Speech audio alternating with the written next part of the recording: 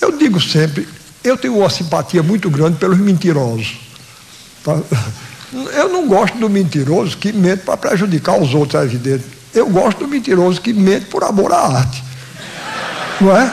Que mente porque, é, como nós escritores, ele não se sente satisfeito. Ele não se sente satisfeito com o, o real, ele então ele cria outro universo, não é? Ele cria outro universo. Eu, eu falo sempre dessa história. Lá no Recife tem um mentiroso agora que eu estou cultivando porque vocês vejam coisa maravilhosa. Ele, ele disse a mim que o pai dele era o maior produtor de mel de abelha do estado de Pernambuco.